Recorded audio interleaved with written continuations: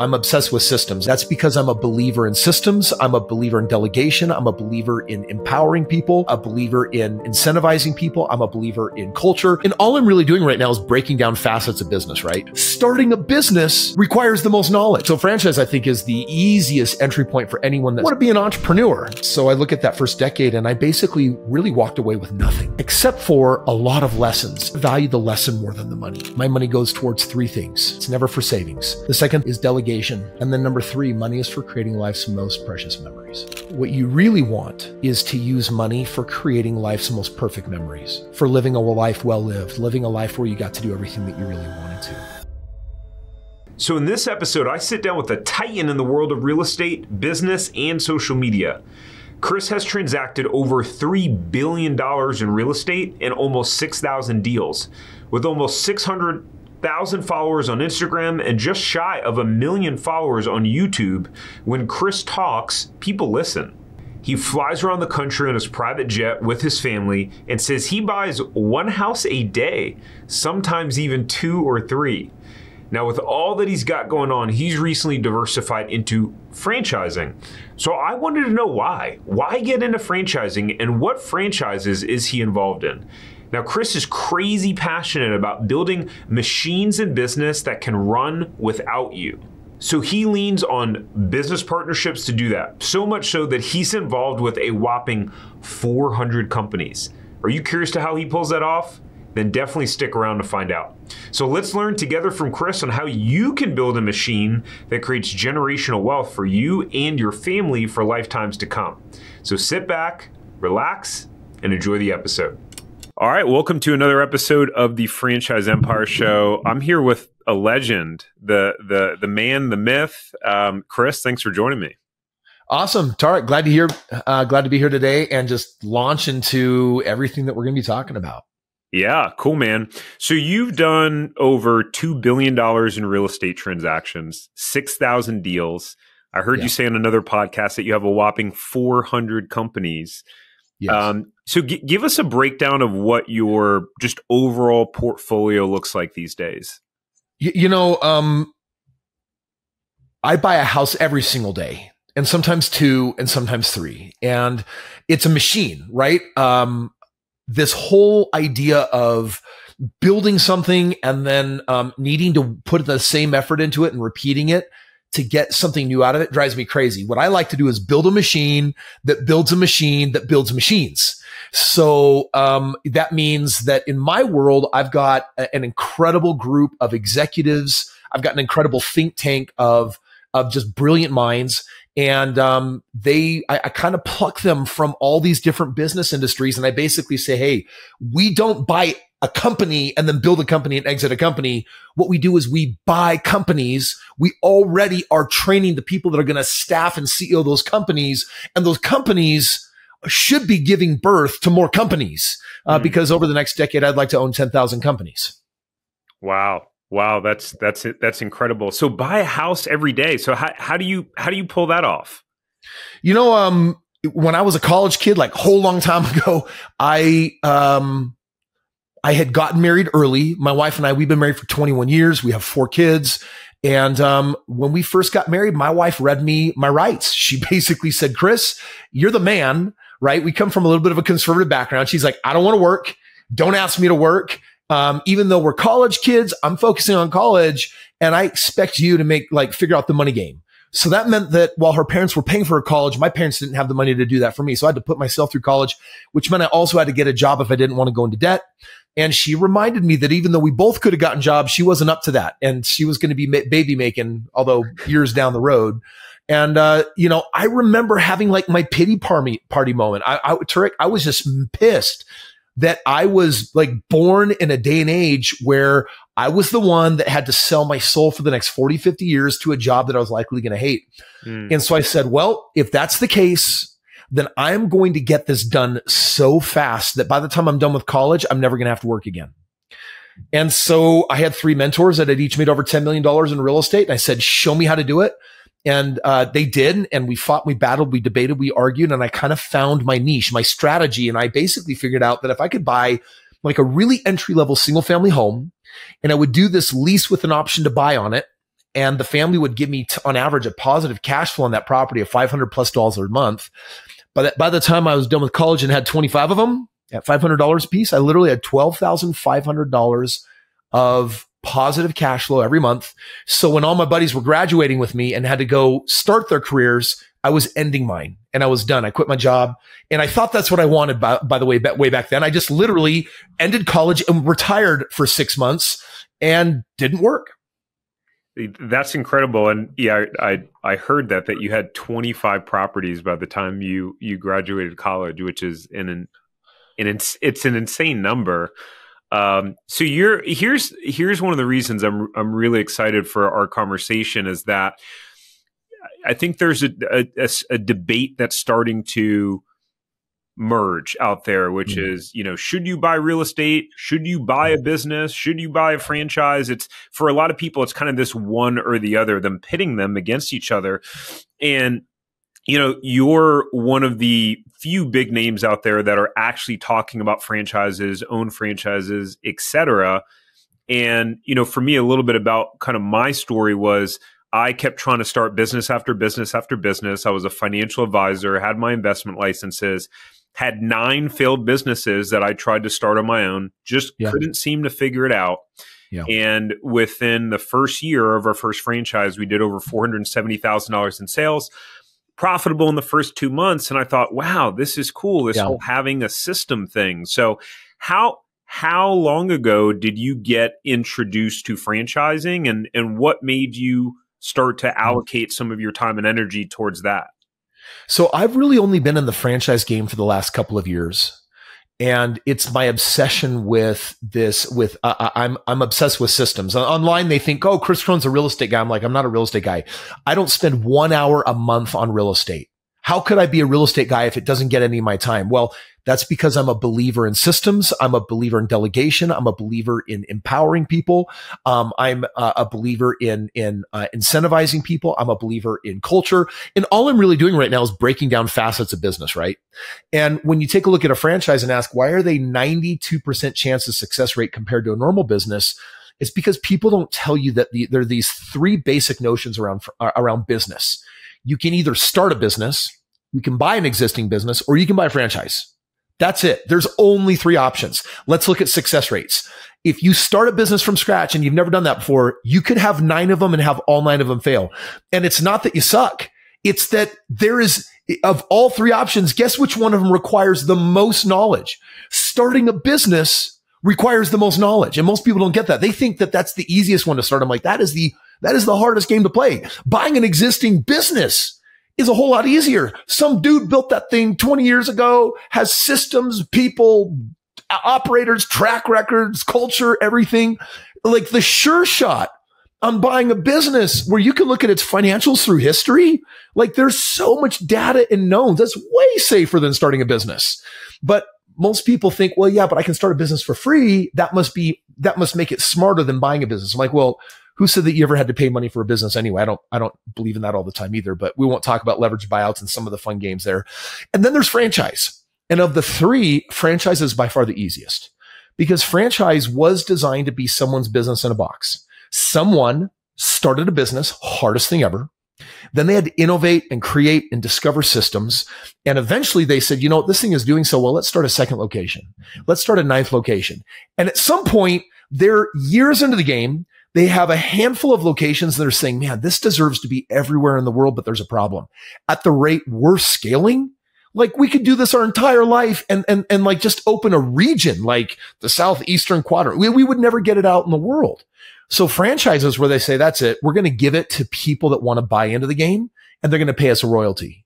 And most people don't start a franchise until they've figured out the game, which means they've got, they've got financials, they've got data points and they've got marketing data and information, something that you have the opposite of when you have an idea called let's start a business.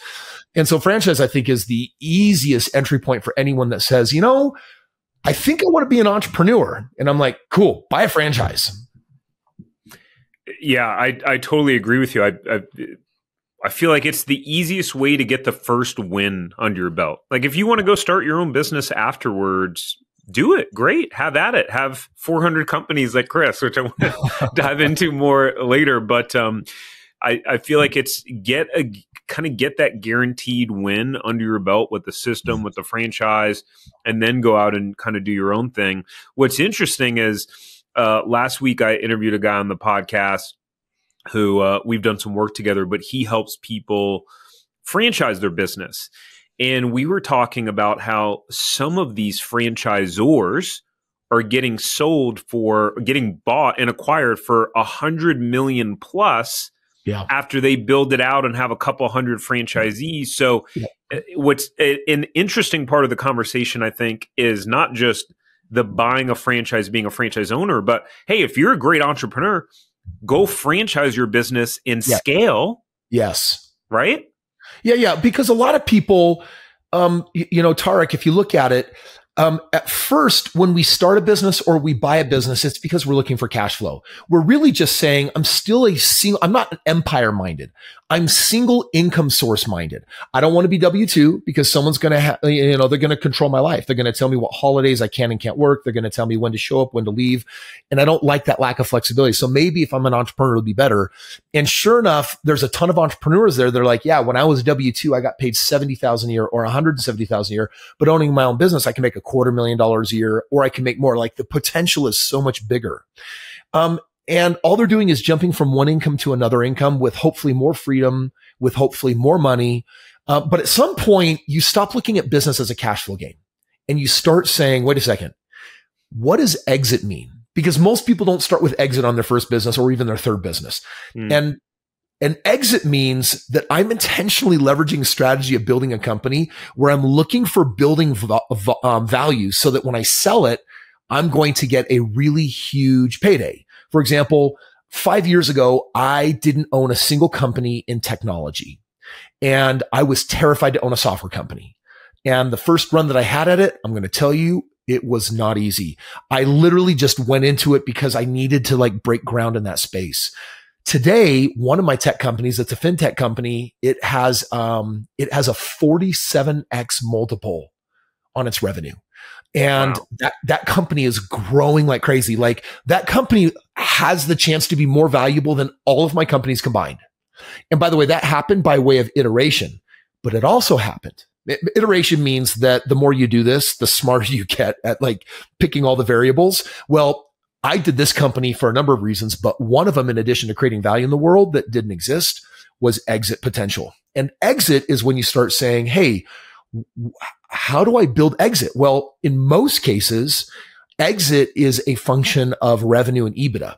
Well, how do you get more revenue? You franchise and have a hundred people simultaneously selling your business. And even though you're getting a royalty piece, that's like a subscription model. That's actually one of the ways that you pick up a high valuation. For example, if I am a if I'm a kid or an adult and I decide to mow lawns and I sell a hundred neighborhood neighbors on I'm going to be your lawnmower, and then it's all of a sudden I'm like, wow, I'm bringing in eighty thousand dollars a year mowing lawns.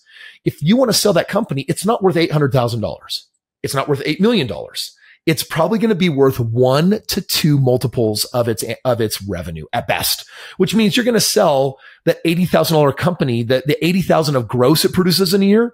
You're probably going to get fifty to hundred grand for that company, right? So that's not exciting. There's no innovation. There's no technology. There's no moat, meaning nothing around it that makes it really special.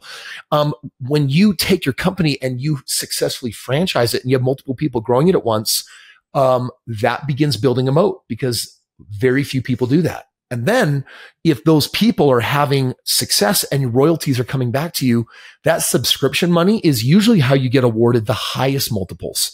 So depending on how much revenue is there and how good your EBITDA is, they might look at that and say, Oh, you want to sell the corporate you, you know, the corporate brand that, that has all these franchises out there, that's worth a lot of money to us because all we see is reoccurring revenue and we see it trending on the rise and we see that you can sell more franchises. And so we have a vision of we might give you a 10x or a 20x or a 30x multiple on your EBITDA. You're like, well, my EBITDA is 5 million a year. You add a, you know, you multiply that by 20. Now that's a hundred million dollar company. How did that happen? Franchise turns out is not just a great strategy for, for iteration and growth. It's a great strategy for exit too. Yeah, it, it, it really is. That, that blew my mind learning about some of those companies that have sold for over a hundred million. Now I want to, I want to talk about a little bit about some of the franchises you're involved in in a second, but I think here would be an interesting kind of part of the conversation to have, which is that you know people look at someone like you you know maybe they're you know following you on you know instagram or youtube. I mean you have what a couple million people that follow you between all your platforms. Yeah. And they see you flying on private jets and making all this cool stuff and talking about you know the billions of dollars of transactions that you've done and then maybe they start to feel discouraged because mm-hmm. they go man i can I mean Kris is so smooth he talks so well he yeah. he spouts these stats off so easily so you know, for me, when I was struggling with my trying to get my first business win, what really helped me was to learn about people's struggles like seeing yeah. someone like you and sharing like you know this was the one time where it didn't quite go well and here's how yeah. i handled it so would you be willing to share like one failure a really tough time in business and how you overcame it? Well let, us actually just start with the whole wasted first decade of entrepreneurship right? Like after I had my first 25 homes and that next year I went to 50 homes and then I went to 100 homes, I was scaling my real estate, but I started leveraging the wrong model and I started selling like on my original portfolio, I owned 50% of every house that investors would put up the money for.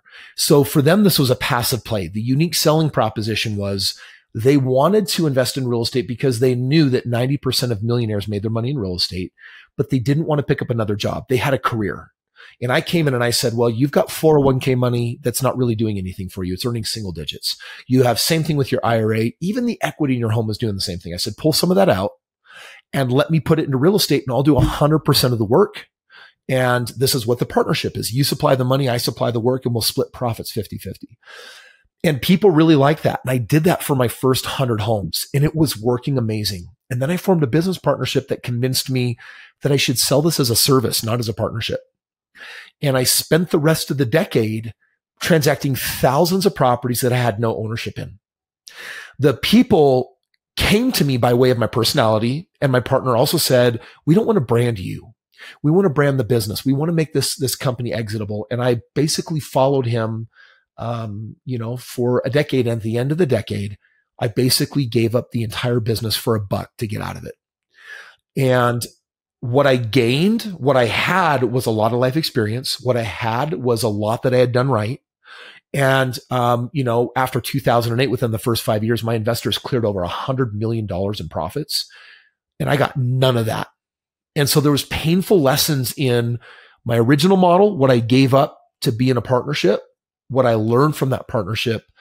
And, um, so I look at that first decade and I basically really walked away with nothing except for a lot of lessons. And one of the things that I did learn was that you have to value the lesson more than the money. Because if you really learn the lessons, this is unfortunately in entrepreneurship where a lot of us get stuck is we experience failure and we don't know how to process that. We beat up on ourselves and we tell ourselves, well, I'm not a naturally born entrepreneur and I'm not made for this and others are better at this. And look at Kris and look at the others. They figured it out. I want to be really clear. I was a, I was a full on F up for the first decade. Like I didn't know how to read financials. I didn't know how to look at the accounting and like turn that into any type of really solid decision making. There were aspects of the business that I just full on ignored. I really like the rainmaking. I really like driving revenue and I really like building systems. And then I was ignoring some of the business and that made me a very, very weak business owner. And that first decade, I, I kind of walked away with nothing. But five years after that, I was able to do more in the next five years than really not just the last 10 years, but what it could have felt like the last 100 years. Right. Um, and that's because I learned my lessons. And so, um, there was definitely some pain along the way. I remember borrowing, borrowing a million dollars once from this Jewish Iranian man on this deal. I was buying real estate at a 93% discount. I thought there's no way you can buy real estate and lose money if you're picking it up after 08 with a 93% discount. And let me tell you, you can lose money on 93% discounts after 2008 when you go national for the first time. And I remember when I finally scrimped and saved everything I could to pay back that million dollars. I mean, dude, scariest day in my life. I probably shouldn't even share. Scariest day in my life was this dude would call me up. He had this really deep voice. He's like, Kris, I need my money. You know, he was telling me about his Jewish Iranian heritage and how serious he was about never losing money. And I, I felt like, I felt like my life was being threatened. Just earlier, I'd been in Hawaii with my family trying to enjoy vacation. And he would call me every day. And I was so miserable on this trip. Well, after I got back, I'm sitting in my office one day and this black Escalade pulls up and four dudes in black suits and suitcases get out. And my mind is thinking, this is it. There are guns in those suitcases and the Jewish Iranian man has come to collect his debts in the form of my blood. And I kid you not, I was on my hands and knees with my head poking out the door as I was listening all the way down the hall to the reception desk at what they wanted. And it turns out there was just a random group of people there to sell business suits. and in that moment, I'm like, oh, like, this is the worst stress I've ever felt in my life. And so, yeah, you want to talk about my mess ups? My first decade, um, I did not have enough mentorship.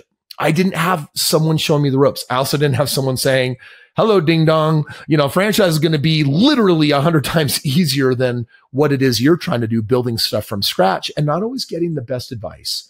Um, so yeah, I mean, that first decade, I honestly could have thrown in the towel.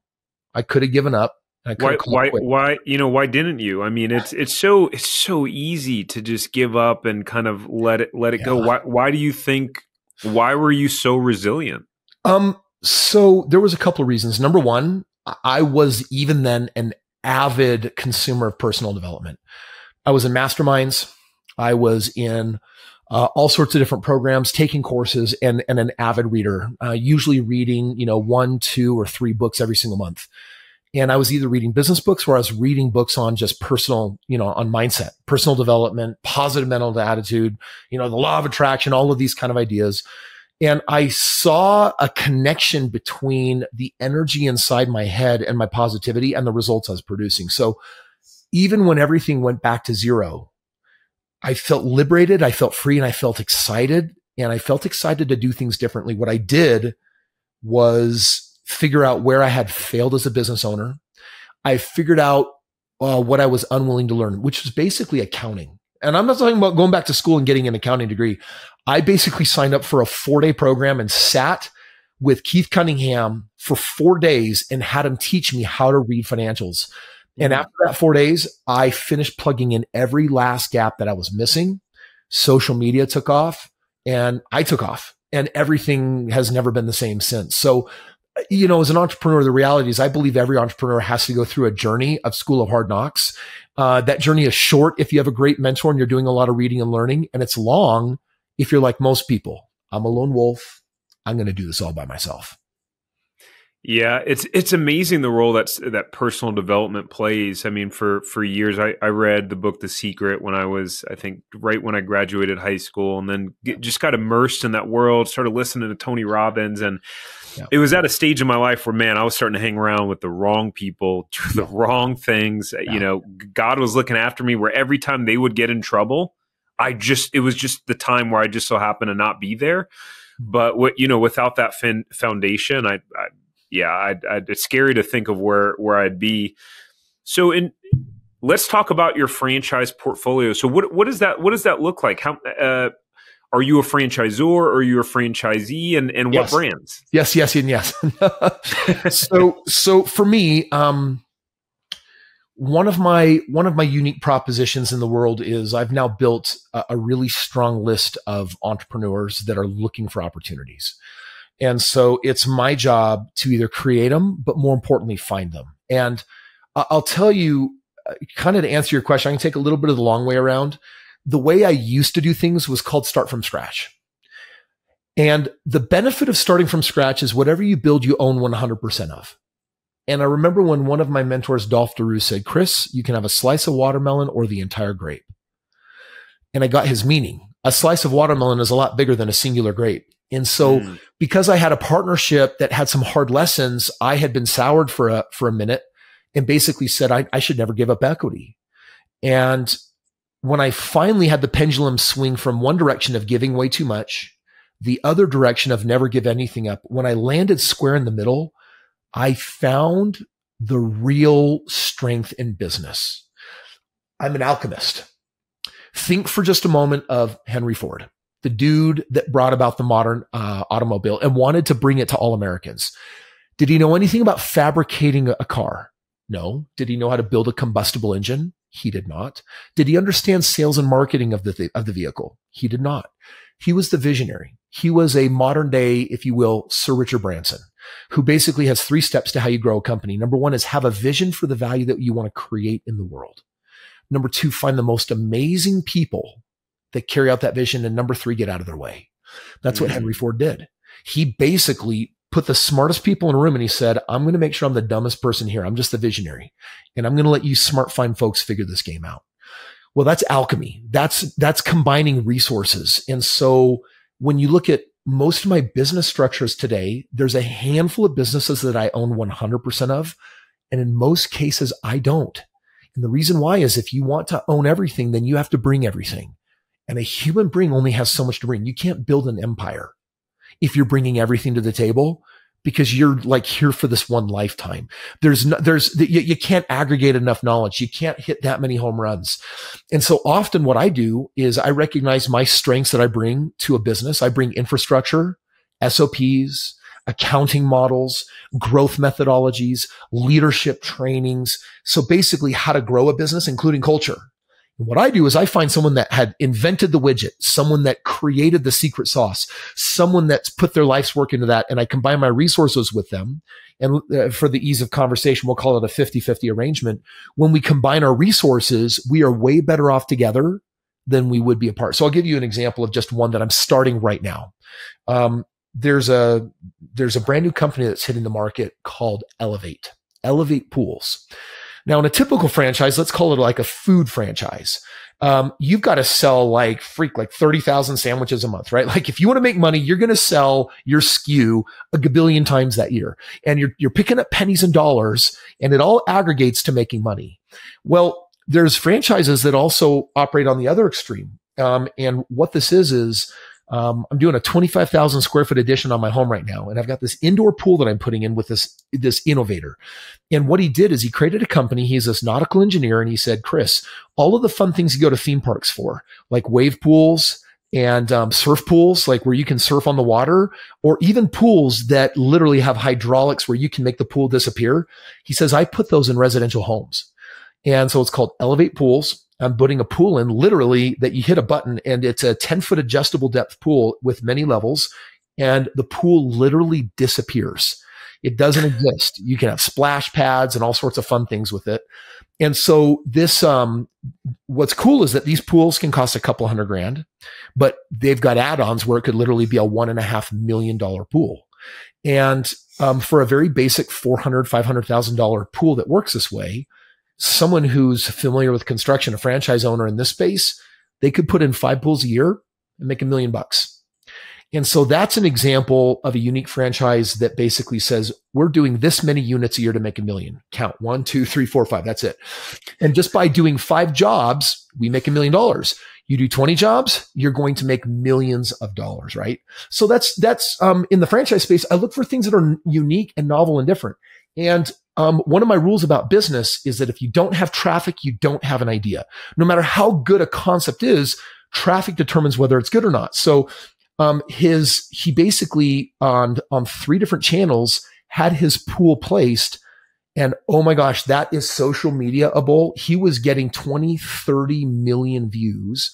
Wow. Because, because there's only one competitor in the world. They're in London.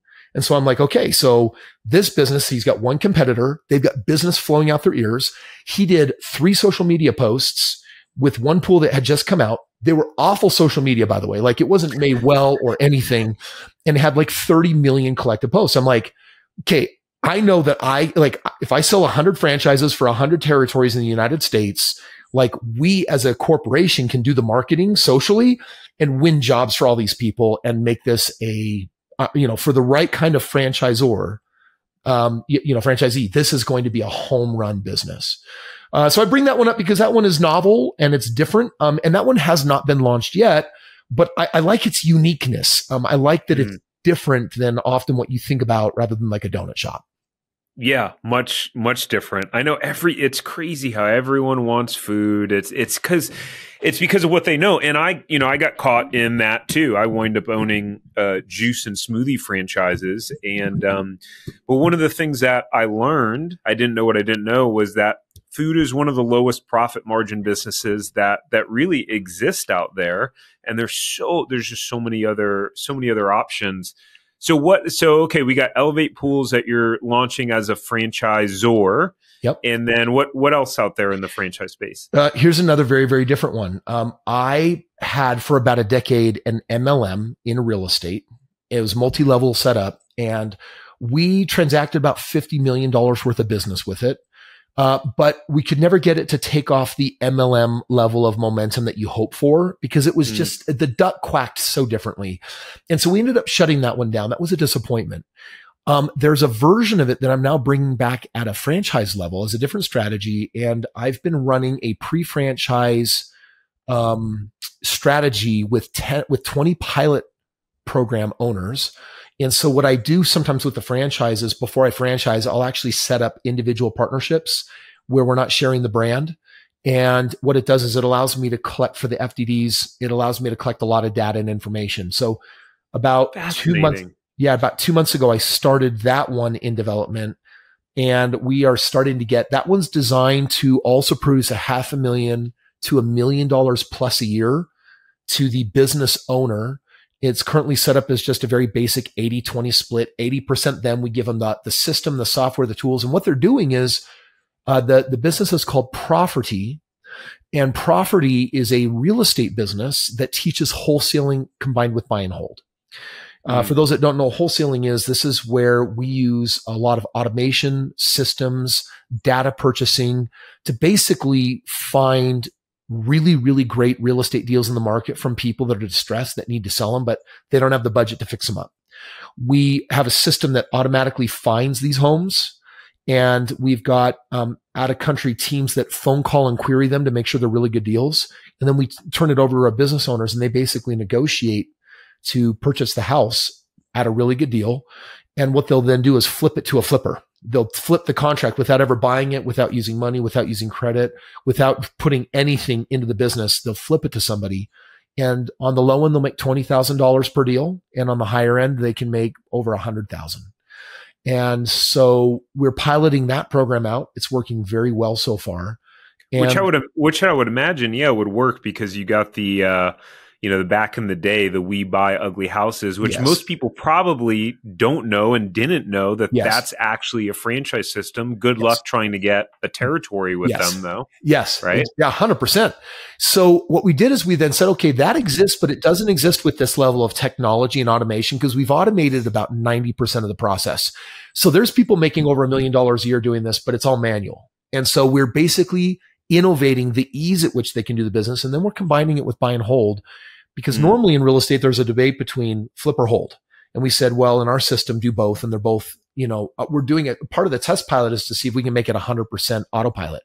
Because I've done that with the buy and hold. And if I can actually go from 90% automated to 100% automated, then you know this will will sell out 1000 franchises very very quickly probably in less than 3 years and that business is projected to have a 47 billion dollar valuation so that's a space I know really well. What I did is I partnered with someone and I want to bring back to this, this game of partnering. I partnered with someone that my experience is in billions on buy and hold and his experience is in over a billion on flipping. So we're combining those two technologies together, bringing the automation and bringing a lot of done for you energy. And that's, um, that's in development. That one is also pre-launch. Uh, so it's, that one's not out yet. Ama- amazing. I love it. so uh, in a minute, I want to hit on partnering, right? Because I, I, feel like that's a that's probably a wound and maybe a scary topic for yeah. for a lot of people. Yeah. Um, but uh, before we do that, is there is there a franchise that you own in the health space? Yeah. So Pure Life is a is a franchise that is out there in a really big way right now. Like it's we've moved. I think we've got thirty or forty locations just this last year that are currently being built out on it. And, and are you the franchisee or franchisor or both? So on on this one, I'm actually partnered up on the ownership team of it on the corporate side. So uh, what I'm what I'm doing from there is um, that one's exciting, and then there's also another one called Melty, and that is a sandwich shop, but that one has been blowing up and also doing really really really well. They just figured out a really cool recipe system on their sandwiches, And that one is a food one, uh, but it's been actually going really, really well. And that one's been selling like hotcakes too. It's, it's very familiar to people. It's very, very basic and elemental to get started, but you can kind of see, Hey, here's food. Here's health. Here's real estate. Here's construction. And um, really, one of my business strategies is I, I love the diversification game for my for my portfolio. So, our team have looked into a few hundred franchises and put together a list of five low cost franchises that all make $1 million or more and that have a proven track record of both happy and profitable franchisees. So, if you have a net worth of at least $150,000 and you want to see if the territory that you want is still available for any of these franchises, then you can go to franchiseempire.com forward slash check territory. All right, let's get back to the episode. Yeah, yeah, it's awesome. And it, and it makes me think there's so many great people that are great operators, right? Like you're a visionary. And so your strength is as a visionary, but there are a lot of people that are wired. I don't want to say opposite because it's it's not opposite, but they're wired as operators, and maybe the way that they go out and make money in franchising is, hey, let me let me operate the franchise the at the at the franchisor level get some sort of equity stake or something like that. And you know that could you know that could be an opportunity because i imagine for all of those businesses you either have or will need an operator who will actually run the business. Yep. And i actually love finding operators. I think that being an operator is a very important part of an entrepreneur's journey. And I don't think it's something that should be skipped. I think you should know how to manage people and manage teams and, and understand it well enough so that when you graduate beyond it, there's an appreciation for how sensitive that it can be because you can have an operation working really well. And then all of a sudden you have, you bring someone in with, um, with a negative mindset and within six months, they're losing employees left and right. They've lost the respect of people. They're, uh, you know, when you have a manager or someone who's in charge that doesn't have the respect of their employees, uh, that's a really great way to tank a business. And, and, and that's all it took was a bad attitude. Bad attitude broke my business, you know, and then, um, you know, KPIs is like, oh, I didn't have my key performance indicators. I didn't know every day what every member of the team was supposed to do. And I wasn't checking them every day. So, um, you know, that was the way that we got tanked. And so being an operator for a stint is a great opportunity to really say, Hey, I, I do need to understand what it looks like on the ground floor if I ever want to graduate to chairman of the board that basically gets to provide advice from the top down as an owner to my operators that are running everything. Yeah.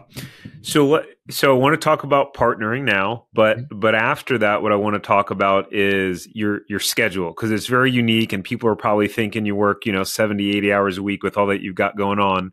But so in terms of partnering and you know negotiating equity finding a partner all these different things that you have going on with your businesses.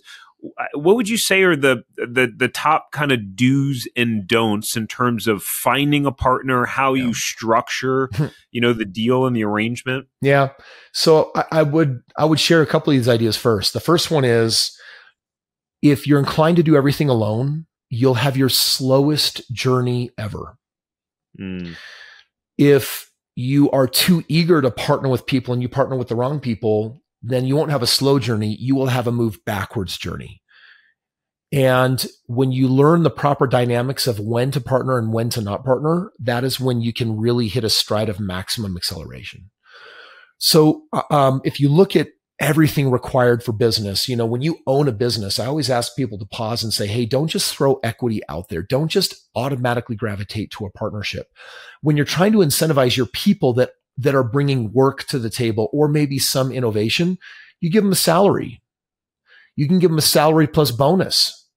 If they need more than that, don't give them equity. Give them salary bonus and maybe some type of revenue or profit share right? And that should suffice for almost all situations. When you elevate to a partner, that's because they bring something that you are not bringing to the table that is necessary for winning. Mm. They're bringing something, and I mean, this is not a hireable person. This is not a hireable attribute. This is quintessential to the function and success of the business. For example, a lot of like every day, I've got a dozen emails in my inbox with people bringing me their business ideas and they're hoping that I'll partner with them. And they know this about me. They know that with five, 10 million organic social media views every week, that I have a crowd of entrepreneurs, a crowd of um, operators. Uh, they know that I can I can move the needle on selling franchises like crazy. So I need to be very picky and choosy. And so I get hit up. So I've got a professional team and all they do is evaluate these people. And, um, you know, every month they probably kick up 10 consult for equity deals where I basically tell them, Hey, I don't want to be your partner, but I'll come in at a small level and I'll provide a lot of my tools and resources to help you grow. One in every 10, one in every 20 of those companies ends up being the company that I want to partner with. And that's because they look at me and they say, our business needs marketing, AKA Kris. And what they're bringing is something, an expertise in a game that I don't understand. And when you put the two of them together, you get magic. So I'm looking always for new partnerships. It's the only way I'm going to get to 10,000 companies. And so I'm clear on what I bring. I know I'm also clear on what I'm, I'm looking for someone to have brought some incredible next level innovation or disruption to the marketplace that doesn't exist. The last deal that I did probably has the greatest disruption that will be felt all around the world. And it's going to change the entire retail industry. Well, I was able and fortunate to partner up on that deal because of what I was able to bring to that table. So partnering is not for incentivized employees to do a good job. That's what profit share at best is, or simple bonus structures. Partnership is when you are amalgamating a business and you have elements that you can't bring to the table. And those are the people that when you find them that you're offering equity to. Yeah, it's very interesting. You you see these days a lot of companies that uh, that have two founders, right? And it's it's like they complement each other yeah. really really well in, in their skill sets. I'm seeing it more often, or or you'll see yeah. husband and wives in businesses that really crush it, yeah. and one has the skill set over the other. So it, it's it's fascinating to me how you've over your career you've used this partnership. In the beginning, you did it with financing. You were saying you were raising capital, right, and then partnering partnering on the real estate deals. And uh, there could be people listening right now, where they're they're thinking, "Man, I I know I have the chops. I know I can do it. I just don't have the capital. I just yeah. don't have the money, right?" Or you know, I have the money, but I like what I'm doing, and I don't want to get involved yes. in running the day to day this other yeah this other business. So, how do you outside of outside of your brand, yeah, are there other ways that you you know find deals, or people are pretty much just coming to you and these opportunities?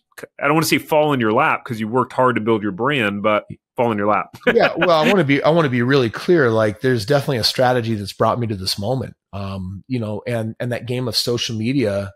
I anyone that you know that has a social media empire, what they had to bring to the table was a novel, unique voice where value could be created across that platform. You know, I'm not mm. talking about someone that plays video games because there's only so much value that they can create in the world or someone that's really good at putting together funny cat videos. Um, you know, when you step into the space of being an influencer and you're providing practical knowledge and training, mentorship and skills, you're not going to get, you know, a crazy large following. That's actually one of the smaller you know, knowledge base is actually one of the smaller brand sizes that you, that you're actually going to build out there. But you can build an incredibly loyal group of people that love learning and watching from you. And these are the people that as over the years go and they educate and learn from you that if they get the opportunity, if you resonate with them, they're looking at doing things with you. And that kind of leads me to another really important point, which is when you partner with people or you observe, Tariq, that there's people out there that, uh, hey, founders come in pairs of twos or whatnot. What's that all about? Here's my caution. For me, and I might be doing this wrong. It's right for me. I don't know if it's really great advice for everybody else, but I'm very careful at a private and personal level who I partner with. Meaning, do mm. I like you? Do I do I align with your morals and values? Um, would I break bread with you? And I'll tell you that partnerships that have gone bad is when there is a difference in value structure. And I'm not mm. talking about one person being good and one person being bad. I mean that there's a million ways humans can be and I need to really resonate heart and soul with someone. And so my partners are also some of my favorite people on the planet. And there's a correlation with that because we'd like to believe that money doesn't change people. But let me tell you something. When you add enough zeros to success, money magnifies people. So for example, if there's someone that you kind of have pet peeves and issues with when there's not a lot of money, when there's a lot of money, those issues are going to grow. And so you, it may grow to a point where you can't stand them. And now something beautiful is at risk and gets lost. So for me, the most important part of partnerships is not, are you competent? Not like, can you do it? That's important. That's a must. That's, that's not what I'm looking for though. That's a given. I want to know if we can dance. Like, do we like each other at a human level? Can we hang out? Can we play, talk, have fun, connect? Uh, because if it's just competency, I can't tell you how many competent people ruin business.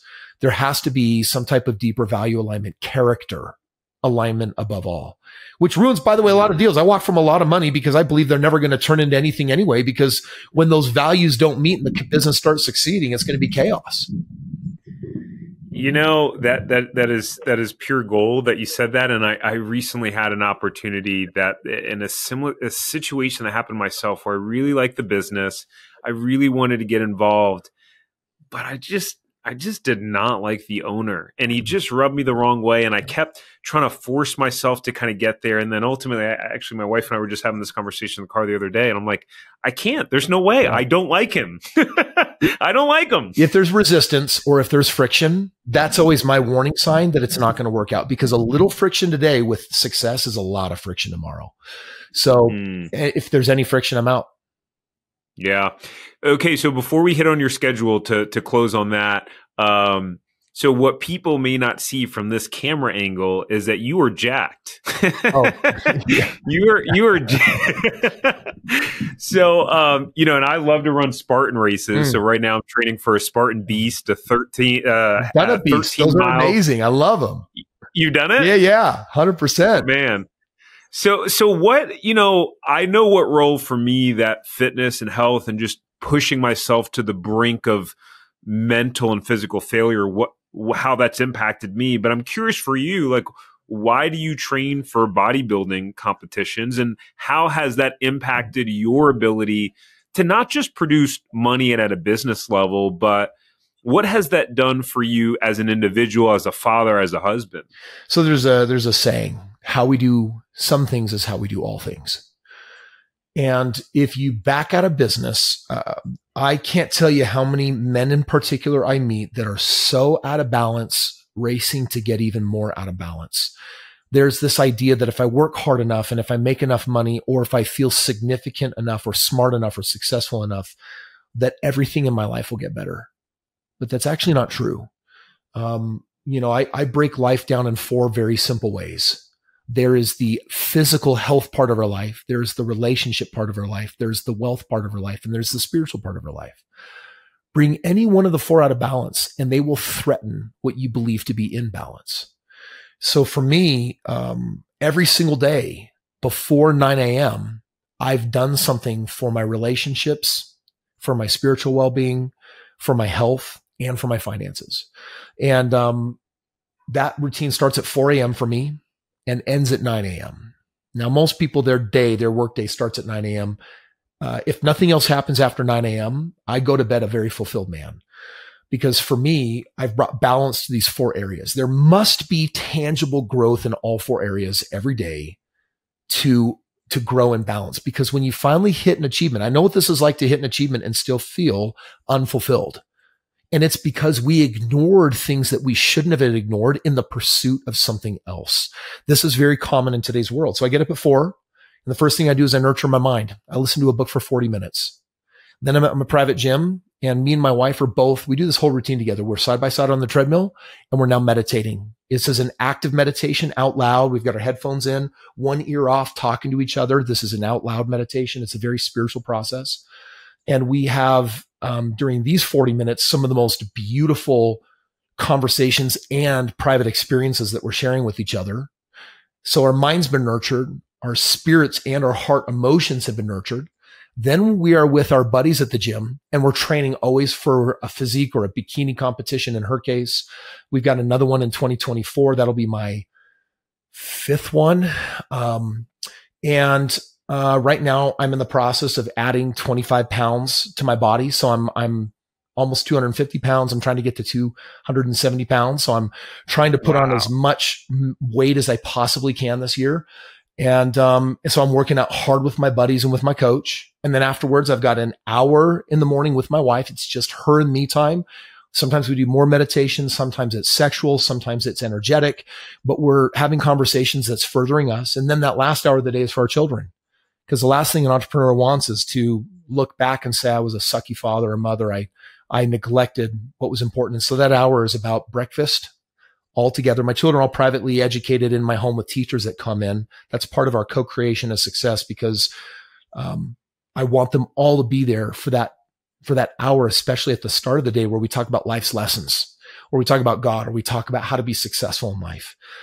And so by 9 a.m., everything that I needed to check off my list that was critical to being a successful father, husband, um, employer, um, and, and child of God, all of that's done by 9 a.m. And, uh, that balance is more important than any win that, that I could ever have in life. Mm, amen. Yeah. So yeah, one, 100%. So, let's cl- let's close on this which is so are you are you working 60 70 80 hours a week how does how does how does that play out with all all these things that you got going on so 4 years ago a little over 4 years ago I had um one of my one of my best friends die and he uh he, he caught some bad wind in his paraglider and fell from the sky um, several hundred feet hit the mountain and um it was awful. He was one of the world's top 100 YouTubers. His name was Grant Thompson. Um, and an, an incredible human being, a father of um, a beautiful wife and four amazing boys. Um, and um, after he died, I thought to myself, you know, if I were if I were dead like Grant, I would feel very unfulfilled. Why is that? I'm I'm so I'm so financially successful. Why why have I not given myself permission to create my perfect life today? What am I chasing? And so I basically redid my entire schedule, and it hasn't changed in four years. And I basically built my utopia, my perfect life. And that's what I've been living. So uh, Mondays um, is a work day for me. And that's where I do all my social media. Tuesdays and Thursdays, I work from home. Wednesday is my day with my wife. And we spend the whole day together. We'll take our jet and go do Disney for a day, or we'll hit the spa. It doesn't matter as long as we're together and connecting because she's my best friend. And I want to have that day with her. Uh, Friday is my kids' day. Saturday is my day. Sunday is God's day. And the evenings, um, barring an occasional event that I put on or webinar, the evenings are otherwise 100% always free. So my morning routine is always protected. My evenings are always protected. My day is broken out that way. So I end up working 25, maybe worst, you know, 30 hours a week. And that provides balance for me in every area of my life where I get to explore life on my terms the way that I want to and to any entrepreneur listening out there, we are either making money for something materialistic. We want to have something or we want to make money so that we can, so that we can save it and squirrel it away. And both of these things, I believe, will bring you sadness. Mm. What you really want is to use money for creating life's most perfect memories for living a life well lived, living a life where you got to do everything that you really wanted to. That means that my money goes towards three things. It's never for savings. It's either for investing because the more my money works for me, the less I have to work out of obligation until one day you just don't have to anymore. I don't have to work. I do because I love it and it's part of fulfillment. The second thing I use money for is delegation. I hire people to do everything I don't like. If I don't like it, I don't do it. I don't cook. I don't clean. I don't organize. I'm not a chauffeur. I don't drive people around. I'm driven wherever I go. So money is, is for investing. Money is for everything I don't want to do. And then number three, money is for creating life's most precious memories. And, um, those three things, um, have allowed resources to be divvied up and spent in a way that, uh, gives me this beautiful lifestyle. Amazing. Awesome, Kris. Thanks so much uh, for coming on today. Loved uh, loved hearing about your story, and we'll we'll drop some links in the descriptions and add some stuff throughout the episode. I know you have a, a gift for everyone yep. if they go to f- what freewealthgift.com forward slash empire. Yep. Forward slash empire. Yep. Okay, awesome. Good stuff. All right, man. Kris, thanks for coming on. Yep, appreciate you.